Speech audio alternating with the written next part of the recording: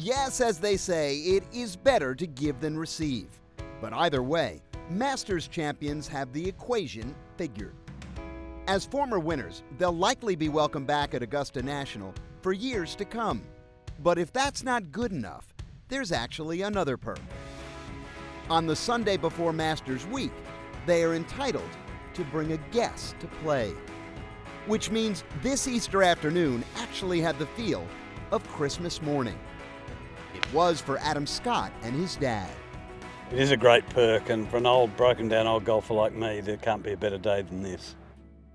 It's just really great fun that we get to play here on a day like today. We've done it quite a few times now, and it's a, it's a neat little way to start the Masters Week for us. Husbands and their wives, men with their friends, former champs with their sons. What could be better? A great day in the company of special people, all in a place once responsible for singular memories.